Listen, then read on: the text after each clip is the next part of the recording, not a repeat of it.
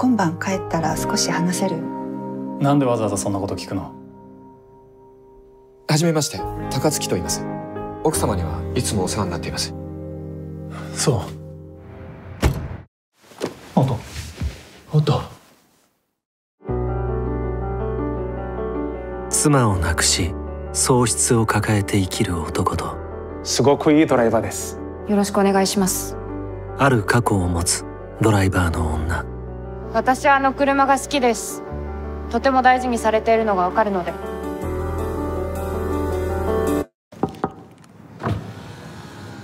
少しお話できませんか？もしよかったら僕にお父さんのこと何か話してくれませんか？音が死んだ日もしほんの少しでも早く帰っていたら。ごまかさないでください。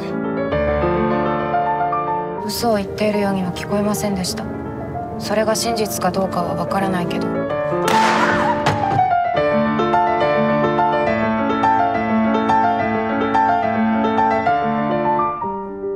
妻の秘密をたどる果てに見つけたものとは。ドライブ・マイ・カー。